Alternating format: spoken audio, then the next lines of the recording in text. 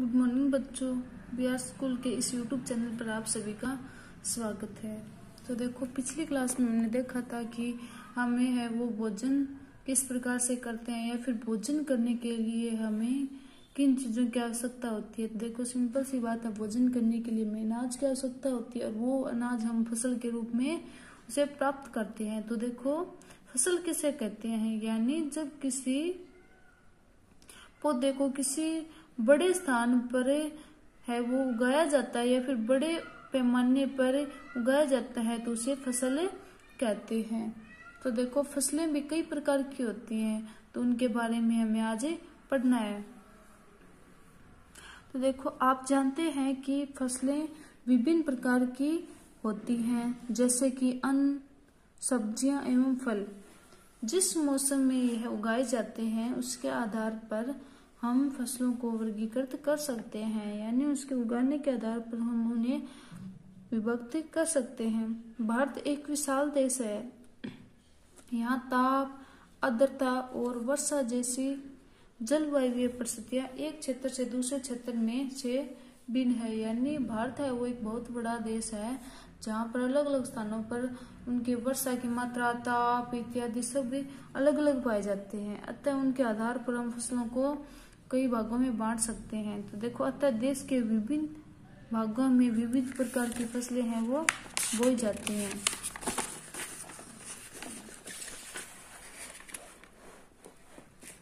तो देखो, इसके आगे इस विविधता के बावजूद मोटे तौर पर फ़सलों को दो भागों में बांट सकते हैं। यानी इसके आधार पर हम फ़सलों को दो भागों में बांट सकते हैं। तो पहली है खरीफ की फ़सल और दूसरा है रबी की फ़सल। तो देखो, खरीफ की फ़सल किसे कहते हैं?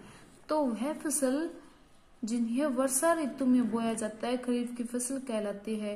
यानी जिन्हें हम वर्षा ऋतु में बोते हैं, वह खरीफ की फ़सल कहलाती है। भारत में वर्षा ऋतु सामान्यतः जून से सितंबर तक ही होती है। भारत में है वो खरीफ की फ़सल उगाने के लिए सही टाइम है। जून से सितंबर, यानी ये वर्षा ऋतु में बोई जाती है। जैसे धान, मक्का, सोयाबीन, मूंगफली, कपास इत्यादि खरीफ की फ़सलें हैं। और दूसरा है, देखो रबी की फ़सल। तो शीत ऋतु, यानी अक्टूबर से मार्च तक में उगाई जाने वाली फ़सलें रबी की फ़सलें कहलाती हैं। जैसे गेहूँ, चना, मटर सरसों तथा अलसी रबी की फ़सल के उदाहरण है। यानी जो अक्टूबर से मार्च के माह में जो फ़सलें उगाई जाती है, वो रबी की फ़सलें कहलाती है, जैसे गेहूँ, चना, मटर, सरसों और अलसी के बीज इत्यादि। इसके अलावा कई स्थानों पर दालें और सब्ज़ियाँ भी ग्रीष्म में उगाई जाती हैं। तो देखो, हमने फ़सलों के दो प्रकारों के बारे में पढ़ लिया। एक तो खरीफ की फ़सल और दूसरा है रबी की फ़सल।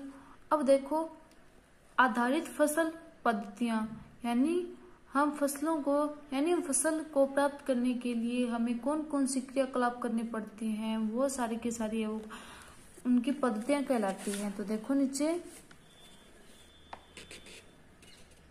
फ़सल उगाने के लिए किसान को अनेक क्रियाकलाप सामूहिक अवधि में करने पड़ते हैं।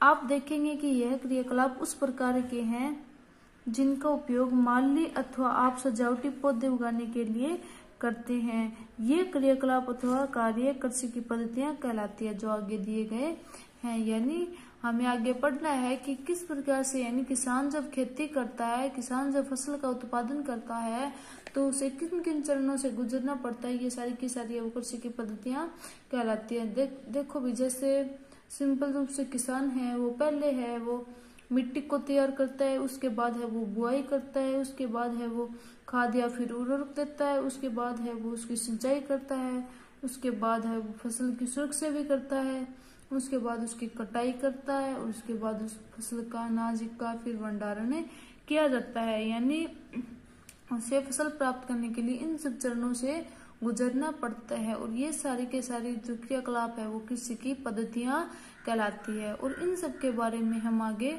पढ़ेंगे। आज के लिए इतना ही। धन्यवाद।